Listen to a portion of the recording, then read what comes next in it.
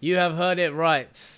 Baldness cure a step closer as scientists grow here in a lab. Bald people, there is hope. Science has brought hope. Check this out. Baldness cure a step closer after scientists grow here in a lab. This is amazing. Like this bald patch, goodbye. Baldness, goodbye. So basically, scientists have taken like my cells or whatever, and they've created a hair follicle. The first time ever, from a lab, out of nothing, they've just created a hair follicle, which is amazing.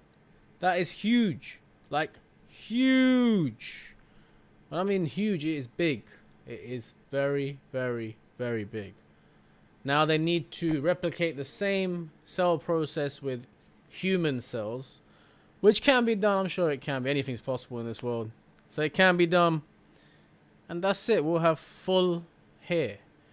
I don't know how long it will take or how long it will take the FDA or whoever's in charge to approve all the stuff and everything. They're still going to do tests. They're going to do this. They're going to do that. But hey, there is hope. Bold people, there is hope. So hang in tight. And um, soon you might be having a full ponytail. You could be tying your hair backwards like this. Or you can get your skin fades back and the crew cut over. I'm excited. I'm very excited. Um, I think it's going to be amazing.